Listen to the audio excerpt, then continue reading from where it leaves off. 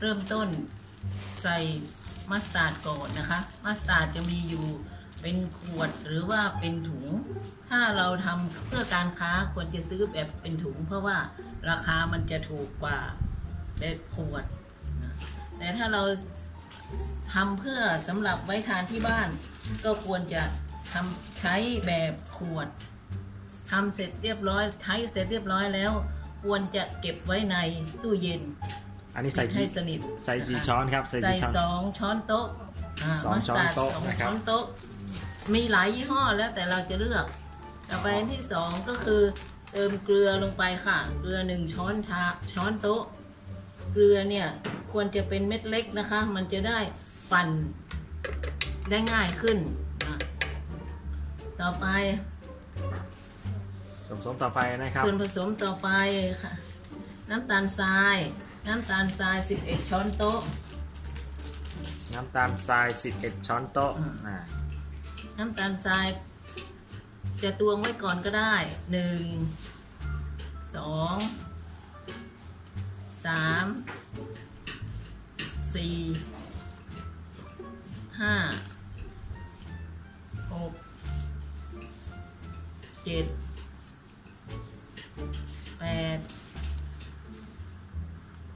เก้าสิบสิบเอ็ดน้ำส้มสายชู10ช้อนโต๊ะนะคะใช้น้ำส้มสายชูอสร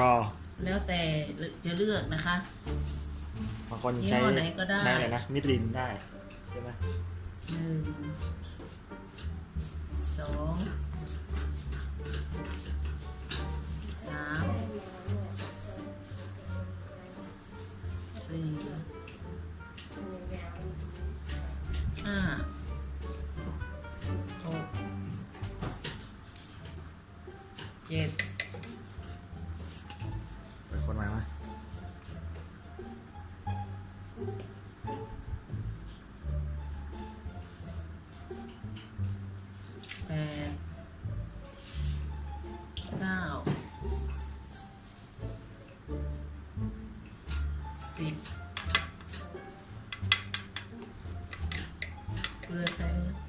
ลือใส่แล้วนะครับ อ่าต่อไปนมข้นนมข้นนมหงกระข้นป๋องหนึ่งกระป๋องนะครับ ที่เราใช้นี่ของยี่ห้อทีพอตแล้วทีแต่พอตยี่ห้ออะไรก็ได้แล้วแต่นะครับว่าจะใช้ยี่ห้ออะไรนะครับ ที่ที่บ้านใช้ทีคอตทั้งกระป๋องเทลงไปเทเททั้งกระป๋องนะครับนมข้นหวานนะนมข้นหวาน ให้ดูด้วย นี่นะครับนมข้นหวานนะ ทีพอตต่อไปบีบมะนาวใส่ มะนาวใส่เท่าไหร่ครับ ถ้าเป็นลูกเล็กสองลูกถ้าถ้าเป็นลูกเป็นเล็กลูกใหญ่ประมาณหนึ่งลูกสองลูกนะครับ เป็นลูกใหญ่ใช้เอ่อหนึ่งลูกอืม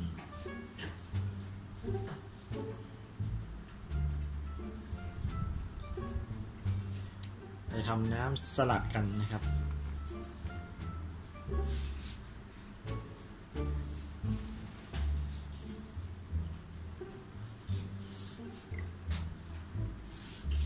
คือน้ำส้มสายชูเปรี้ยวไม่พอต้องใส่มะนาวด้วย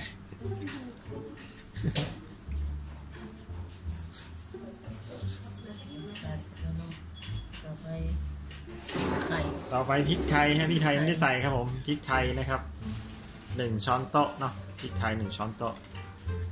อันนี้เราใช้ของไร่ทิพย์นะฮะไร่ทิพย์ซื้อมาเป็นขวดเล็กๆแล้วกันเอาเอาน่หน่อยครับ ตัดให้หน่อย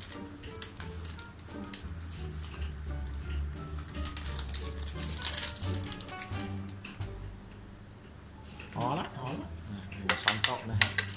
ของไล่ทิพย์นะครับเอาเอาซองมานะครับครับผมนี่ซองเดี๋ยวปิดก่อนต่อไปใส่ไข่สามฟองใส่ไข่สามฟองนะครับใส่เอาเบอร์หนึ่งนะคะนะใส่เบอร์หนึ่งสามฟองไข่เบอร์หนึ่งสามฟองจัดไป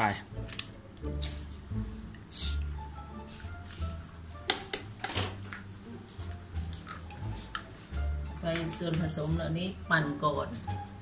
แล้วก็ปั่นก่อปั่น นแล้วก็ทโถมันมีขนาดเล็ก เพราะฉะนั้นจะต้องปั่นสองครั้งเพื่อที่ให้ให้น้ำมันกับเอ่อส่วนผสมอื่นเข้ากัน ตอนแรกเริ่มปั่นตรงนี้ก่อนนะคะ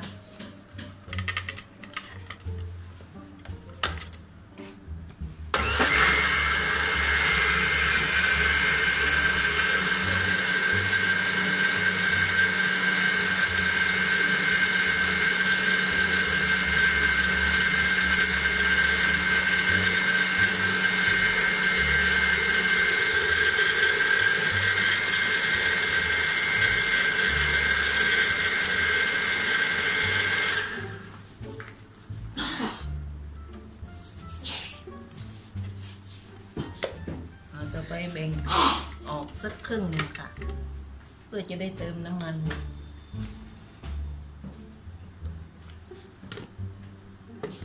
น้ำมันสลัดนะครับ น้ำมันพืชนะที่ใช้ทำสลัดนะครับ ตอนนี้เราใช้ของยี่ห้อ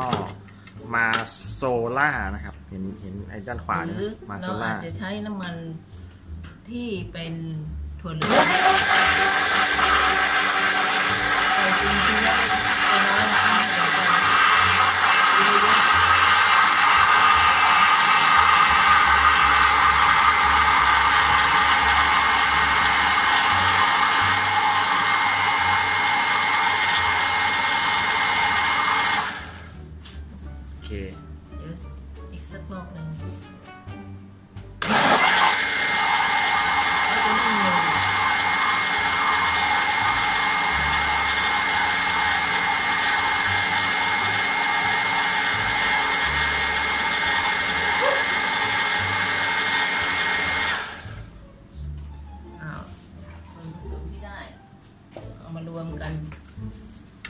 เดี๋ยวเราเอาค่อยส่วนที่หนึ่งกับส่วนที่สองนะครับมารวมกันนะฮะเดี๋ยวเราค่อย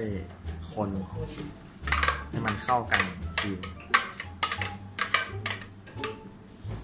ไว้ส่วนที่เหลือปันต่อ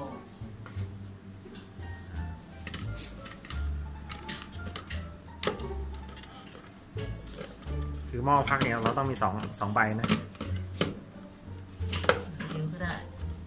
สำหรับคนที่เริ่มทปึ๊ ไปฮะำในส่วนที่เหลือ แล้วก็เอาน้ำมันอีก 250แยะครึ่งของเมื่อกี้นะครับ ไปใส่ต่อ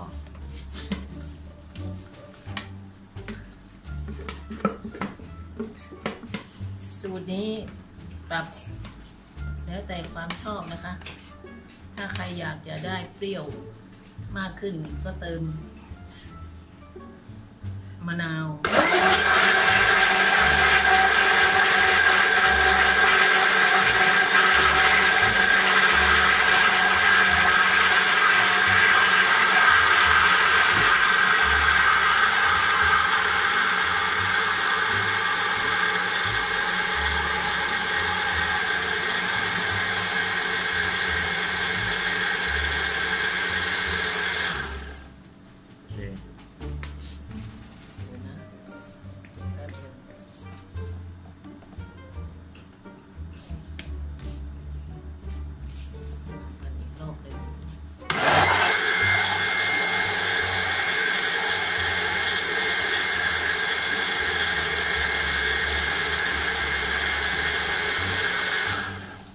ใส่ชีสได้ไหมครับ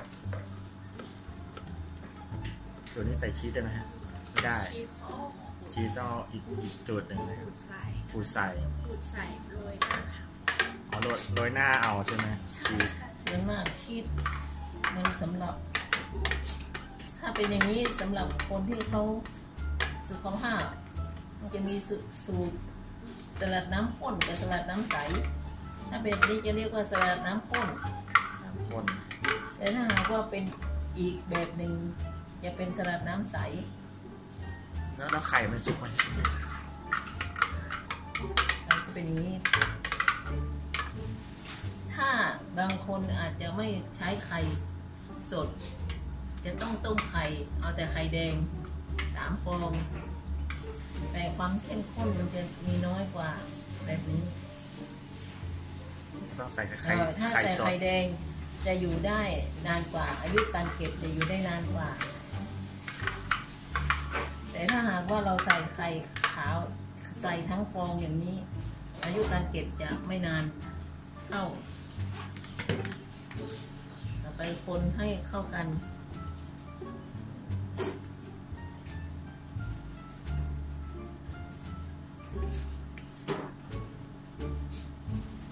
ใช้สำหรับทำสลัด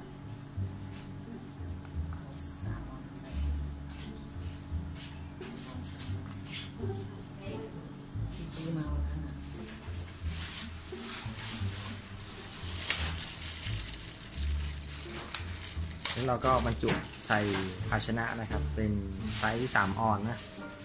ฝาขนาด 75 นะครับ แบบ ไม่เจาะ ตัวนี้หาซื้อได้ตามร้านเบเกอรี่นะครับเอ่อแก้วเนี่ยแก้วไซส์3ออนซ์ ฝาขนาด 75 มันจะพอดีประมาณหนึ่งหนึ่งหนึ่งถ้วยถ้วยที่เราใช้ที่เราใช้นะครับ ประมาณนี้นะ สลัดตักใส่เ